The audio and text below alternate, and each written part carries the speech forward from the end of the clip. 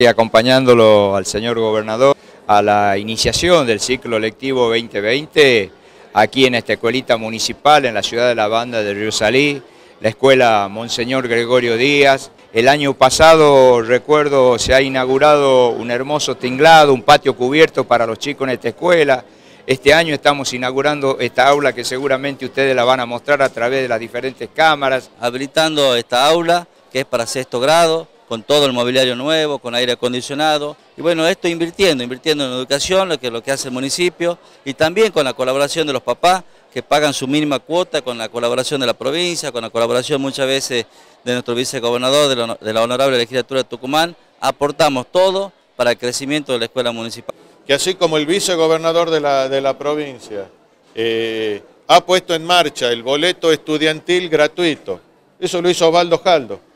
para todo el interior de la provincia de Tucumán, para que todas las criaturas puedan ir a la escuela. Y también es importante decirle a los papás que el boleto estudiantil gratuito en el interior hoy está en plena implementación. Hoy en la banda se lo está haciendo en el Teatro Alfredo Guzmán, decirle al papá que, que, concurran, que en muy poco tiempo no se lo va a demorar mucho y va a salir con la tarjeta nueva, con la tarjeta actualizada, porque yo creo que hoy más que nunca el papá necesita esa ayuda desde el punto de vista económico.